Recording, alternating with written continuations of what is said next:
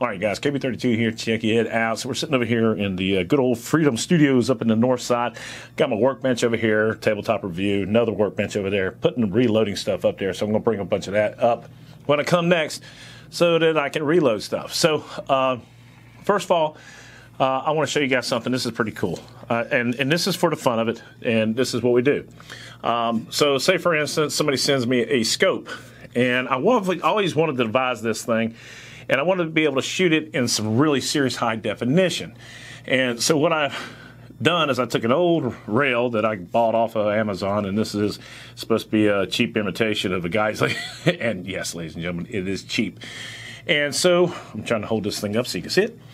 So what I did was I've got I run a Lumix G7. Okay, uh, one of the guys I can't. Oh, Goodness gracious, I can't remember he's the one that turned me on to this thing. So I got a couple of these, and you're watching it on one, and this is number two right here, which is nice because they've got some fifth thirds or whatever they sensors in it. I used to be into photography, got all the 5D Mark IIs, and uh, you know, Canon is what I usually ran with the big old L lenses and that kind of thing. Shot weddings, right? When people say, "Can you shoot my kid?" I go with the camera, right? Okay, yeah. So anyway, funny, funny. And what I wanted to do was be able to mount any scope that has a one and a half inch riser on it, okay, and put it on here. So in order to do that, I had to buy just a cheap old three quarter inch uh, riser on this end, and then what I did was I bolted spacers in here underneath this till it was actually well these are just flat washers.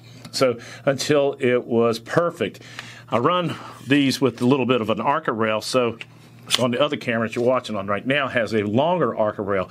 So I can actually move it back and forth and it and tune it so that it ends up running perfect with the reticle. Now here's the reason I'm doing this is because I deal with a lot of different reticles and the cool thing is, is I'm able to now take this. I can mount it on a tripod. As a matter of fact, I've got a tripod. Let me go get that. I want to show it. Okay, so a lot of times I'll sit up in a window. I've got an apartment in a high rise, and I'll just leave that as as it goes. Um, I'm able to lock this down, and then the Kaufjager. This is the wildebeest. I can't. Oh, I can't remember the name of this guy, but I'm sure that they will remind me. So I'm able to do it just like this, and I can turn the screen around, and I can turn this on right here. And boy, let me tell you something it is absolutely perfect with the way these things work. And maybe, you know what, not right now. That's kind of interesting how that, it is really unique and how that works.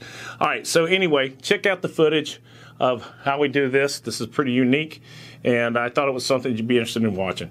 Um, we've got another video I'm going to be doing later on. I want to introduce you to a young lady who is a has a, a gun store up in Shelby lady owned business, and she was really cool. And it's like I nicknamed it as like the, the place where everybody knows your name. So anyway, well, let's get a hold of this thing and see how she runs.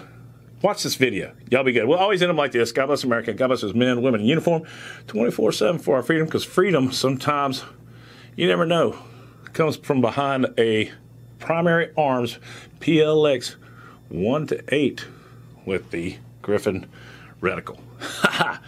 Here we go. Stand by.